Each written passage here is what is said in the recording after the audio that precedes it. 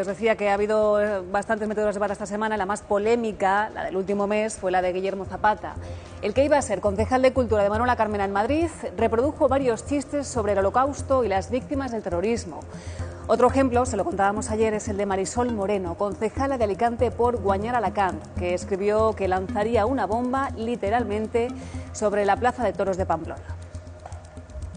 No están muy acertados, los políticos últimamente. Pero ¿por qué estas meteduras de pata? ¿No saben la importancia de lo que escriben? ¿No tienen asesores que les aconsejen?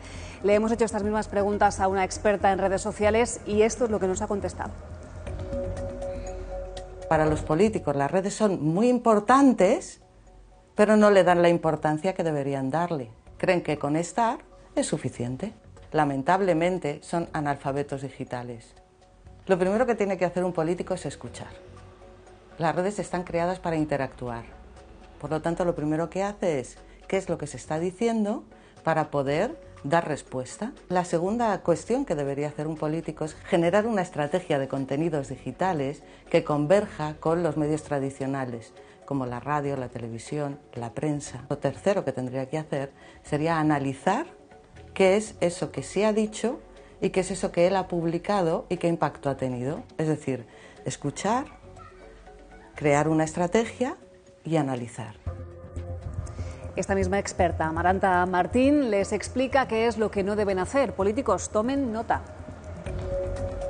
Un político no debe crear campañas deshonestas. No debe pensar cuando está en Twitter que está en la barra de un bar. Con los amigos, con los colegas, se habla de una manera. Si yo soy una persona que falta el respeto, en mi vida cotidiana, seguramente también lo haré en Internet. Ellos escriben lo que les parece, cuando les parece, porque como no me ven, si me preguntas si es buena estrategia, una vez que he publicado algo, borrarlo rápidamente, te diré que la mejor estrategia es no publicar eso. Lo que no es sensato es tener a alguien en una presidencia de gobierno escribiendo permanentemente en el tuit.